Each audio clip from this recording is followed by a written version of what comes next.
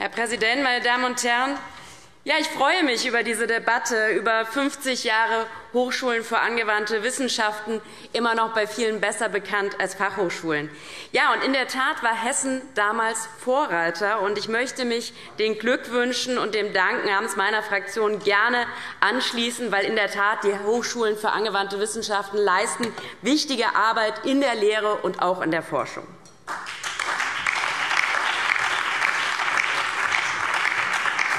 Ja, und die Fachhochschulen sind eine wichtige bildungspolitische Errungenschaft.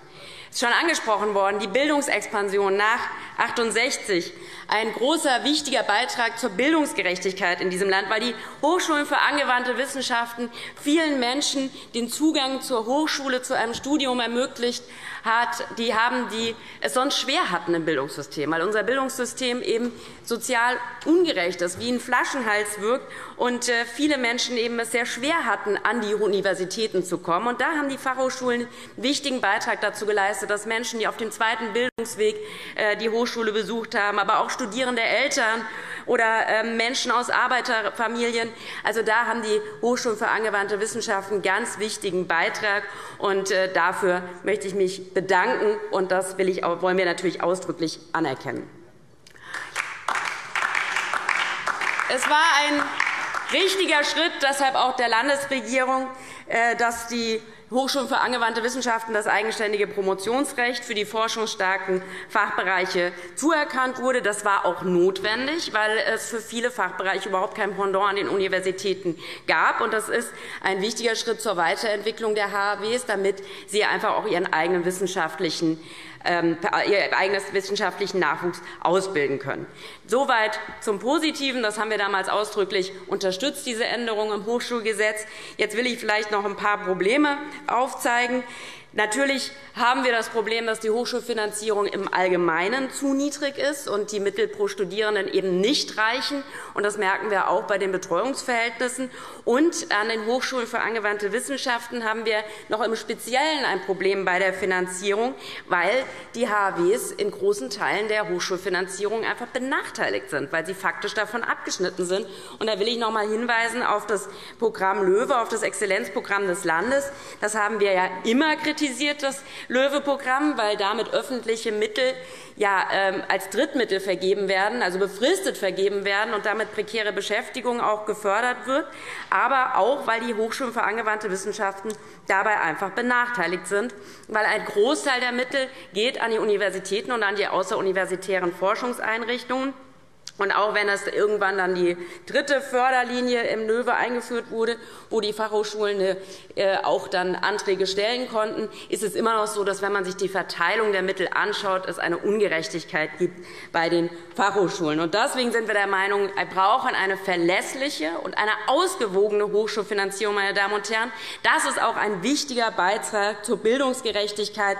Und deshalb, wenn wir die HAWs weiter stärken wollen, dann müssen wir dafür sorgen, dass sie eigenes wissenschaftliches Personal ausbilden können, dass sie es unbefristet beschäftigen können, dass die Mittel pro Studierenden steigen, es ein gutes Betreuungsverhältnis gibt und dass es kein derartiges Gefälle zwischen den Hochschulen gibt. Das ist ein wichtiger Beitrag zur Bildungsgerechtigkeit, meine Damen und Herren.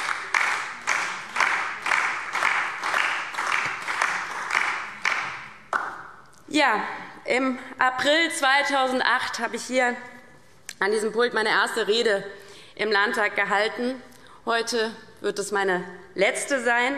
Und äh, wie meine erste Rede war auch äh, die letzte Rede zum Thema Hochschulpolitik und ein Thema, das mir in der Tat am Herzen liegt und das ich auch gerne auf der Bundesebene mich dafür weiter stark machen will. Stichwort BAföG-Reform. Es gibt einiges zu tun, auch auf der Bundesebene. Ja, damals 2008, ich war jüngste Abgeordnete hier im Hessischen Landtag. Die LINKE war erstmalig in den Landtag eingezogen, ganz knapp. Und äh, es ging damals in meiner allerersten Landtagsrede um die Abschaffung der Studiengebühren in Hessen. Und das war ein Thema, um das die Studierendenbewegung zwei Jahre lang gekämpft hat, äh, auf der Straße, auf den Autobahnen mit besetzten Ministerien. Und ähm, die Gewerkschaften hatten das unterstützt. 80.000 Unterschriften wurden gesammelt. Und äh, dass SPD, GRÜNE und LINKE, dass wir damals gemeinsam die Studiengebühren abgeschafft haben, ich finde, darauf können wir heute noch stolz sein.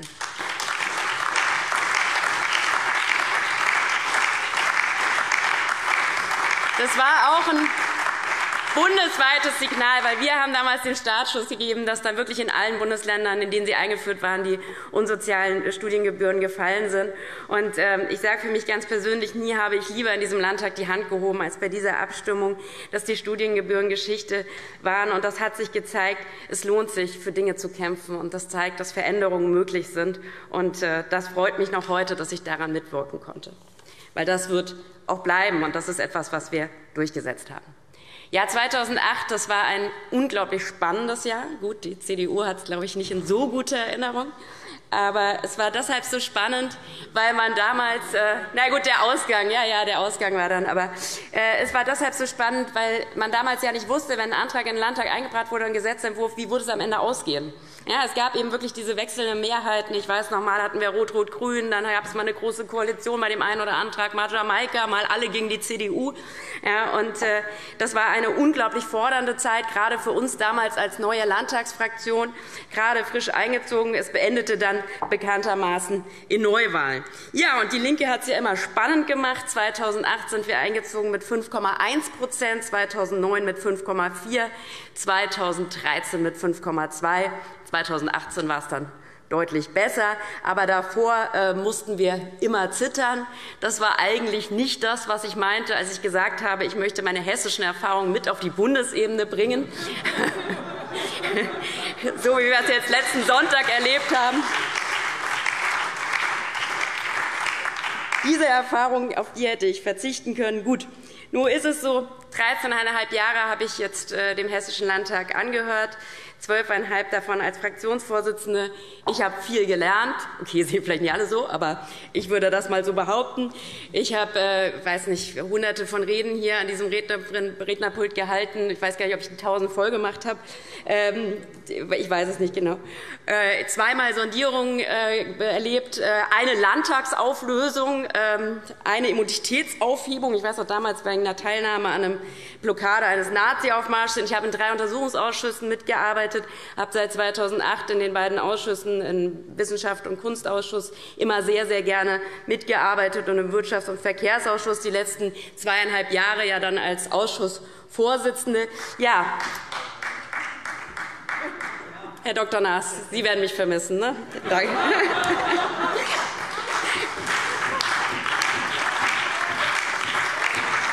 Es ist doch schön, wenn man geht und weiß, dass einen noch jemand vermisst. Äh, ja, wie gesagt, damals äh, war ich die jüngste Abgeordnete. Mittlerweile jetzt bin ich ja die dienstälteste Fraktionsvorsitzende hier im Haus nach zwölfeinhalb Jahren.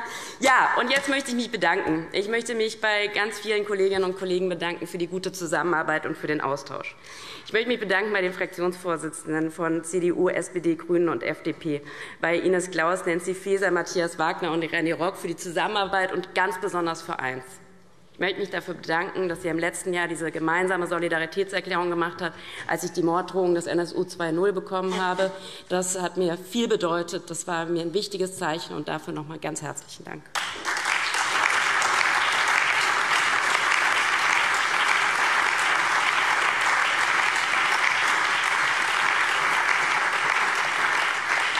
Ich denke, das absolut Entscheidende für diese Demokratie ist, anzukämpfen gegen die Gefahr von rechts äh, bundesweit und in Hessen. Wir haben die NSU-Morde erlebt, den Mord an unserem ehemaligen Kollegen Walter Lübcke, Hanau, Wächtersbach. Und deswegen denke ich, ist es so wichtig, dass es eines der ja, gemeinsamen Anliegen aller demokratischen Kräfte ist, gegen rechts anzukämpfen, gegen alle Formen von Rassismus und von Faschismus. Und ich denke, das ist auch eine wichtige Lehre aus der deutschen Geschichte.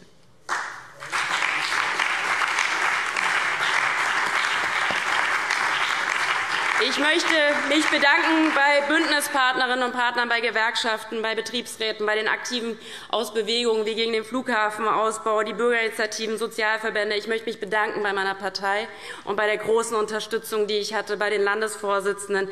Ich möchte mich bedanken bei den Mitarbeiterinnen und Mitarbeitern hier im Landtag, in der Kanzlei, bei den Stenografinnen und Stenografen, bei den Ausschussgeschäftsführern und Geschäftsführern, bei Herrn Mayer und dem gesamten Hausmeisterteam, den Reinigungskräften der Pforte, den Booten, den Saaldienern, die Mitarbeiter des Landtagsrestaurants und auch meinem langjährigen Fahrer möchte ich ganz herzlich danken für seinen großartigen Einsatz.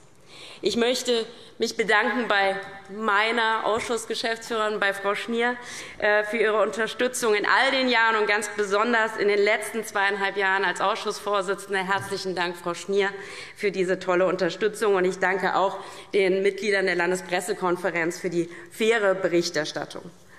Mein ganz großer Dank geht natürlich auch äh, und vor allem an meine Fraktion, an alle aktuellen und an die ehemaligen Abgeordneten, will ja Willi van Ooyen noch stellvertretend nennen. Ich äh, möchte allen Mitarbeiterinnen und Mitarbeitern danken. Und, ähm, ich vermisse euch jetzt schon.